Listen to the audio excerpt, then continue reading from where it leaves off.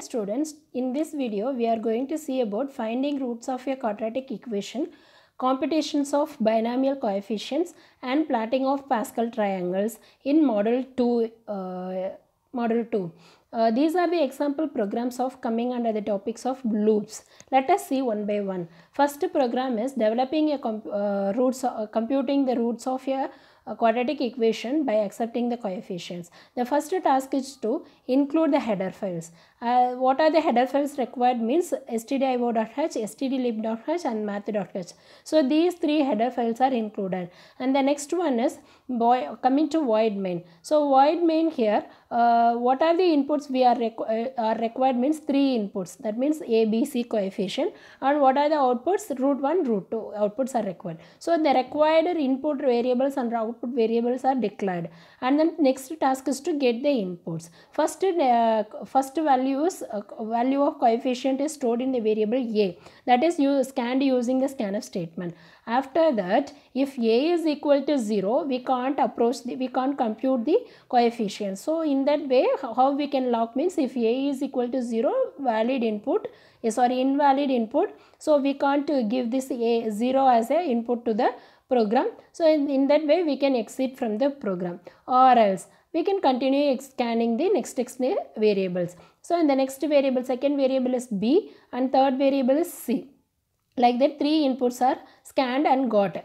Then we need to find the disk value. So how we can find the disk value means b b, b, b squared minus 4ac is the value of d disk. How this is written in c language means b star c b star b minus 4 star a star c. So this is the equation for finding the disk. So that has been done. Then we need to fire next task is to compare the values of disk. If disk is equal to 0 the roots are equal. So there are three cases. If disk is 0 and disk is less than 0 and disk is greater than 0 so first case is disk is double equal to 0 if double equal to 0 means roots are equal. So in that way when uh, both roots are 1 so root 1 is same root 2 is same. So how we can assign means root 1 equal to root 2 equal to minus b divided by 2 star a so that is called as, uh, that is the case of with disk value equal to 0.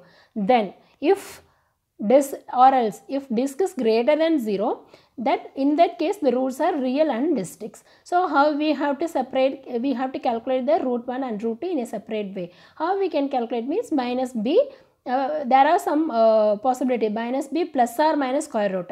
So for the first one we need to apply plus and for the second root we need to apply minus. In that way we can find out root 1 and root 2 that is printed. Then if not if not that means disk is less than or equal to 0 means the roots are imaginary. So on that condition we need to find the real value and imaginary part. How we can find the real value means there is a one parameter called a real parameter minus b 2 star divided by 2a and imaginary parameter is there we need to apply fabric, fabric, fabrication functions of disk value. So in that way we can find out. So coming to the output or what is the, there are some outputs are there. So first I am giving the um, value of coefficient a equal to 0. So in that condition what it will show means we already have the test conditions that if a equal to 0 invalid input try again or else for the coming to the second output uh, we are giving real values 1 minus 4 and plus 4 are the three real values. So for that the root equal to root 1 and root 2 is equal to 2 because it comes under the category of disk equal to 0. Likewise, you will get the outputs. Then, next program is computations of binomial coefficients. What is meant by binomial, binomial coefficient table means uh, binomial, binomial coefficient table is formed for calculating the multiple values that can be generated between n and k.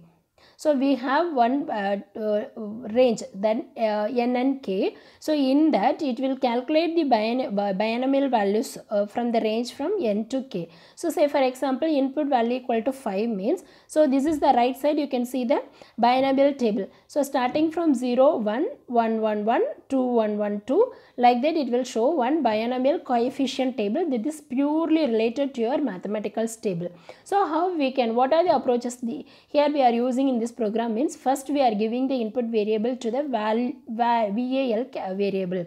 And it will the loop will start from 0 to value. Okay? So first point is we are giving the inputs to the value and second point is we are giving the we are starting the loop from 0 to value. Uh, then the third one is uh, apply the formula given that means finding the binomial formula that is uh, below is the formula for finding the binomial table so we are applying the formula for between n and k not k should not be 0. So in that way we are applying the formula of finding the binomial uh, coefficients.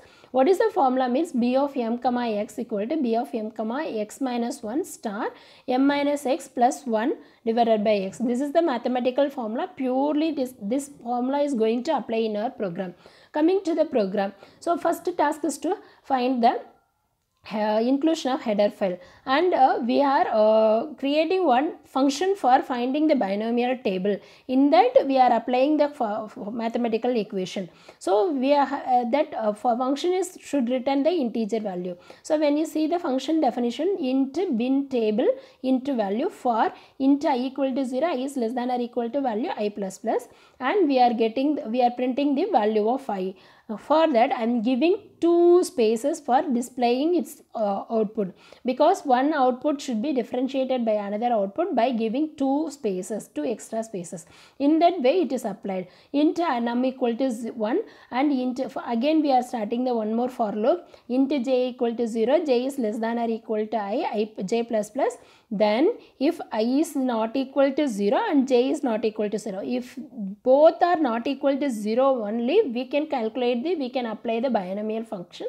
So what we'll do now we are finding the number num value num equal to num star i minus j plus 1 divided by j printf in that way this binomial table is applied. Uh, this function is directly called in the main function.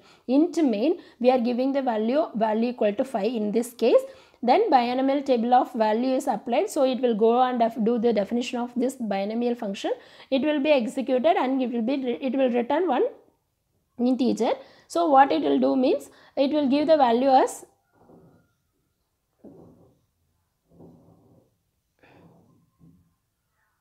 so it will give the value as one binomial function uh, by uh, this one uh, what is that binomial value right so hope I understood these concepts. I will catch you in the next video about next topic. Thank you.